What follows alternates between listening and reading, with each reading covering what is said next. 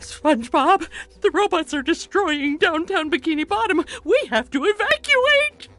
All right, but it's gonna take a while to get all this dust. Not vacuum, evacuate. We have to get everyone to safety. Can we just load them up in the boats? That won't do any good. Why not? Because the robots have taken all the steering wheels. Couldn't we just drive in a straight line? No, there are too many turns.